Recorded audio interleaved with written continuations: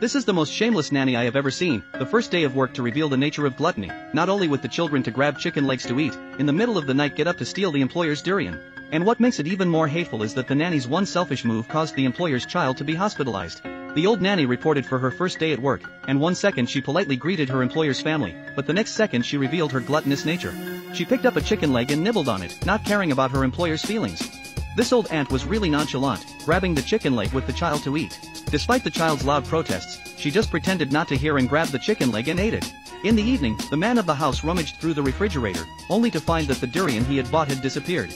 When he turned on the lights in the living room, he found the nanny hiding in the balcony eating, holding in her hand the very same $300 piece of durian.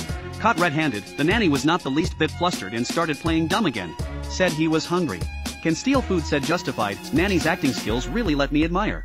Expensive durian without even asking let this old lady to eat all. The man is angry scalp numb. This is simply invited a ancestor.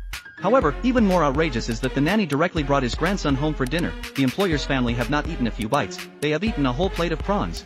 Nanny said his grandchildren are sick, you have to eat more nutritious things, but we all know that people in the sick is not able to eat seafood, however, is the nanny's selfish behavior, but also harmed the employer's children into the hospital. This day the girl was found to have hand, foot and mouth disease by the hospital, which made the hostess doubly puzzled. No one in the kindergarten children were sick, her daughter was actually infected by whom? At this time she suddenly remembered a person, so she rushed home angrily. In the face of the hostess's questioning, the nanny pretended to be crazy, said I do not know, a kind of I'm not right attitude. But the lie cannot beat the truth, Nanny's sophistry was soon exposed, annoyed and angry, she revealed her vicious nature, to the employer family began to stir up nonsense. This also completely enraged the host, he grabbed the nanny, a thrown out the door.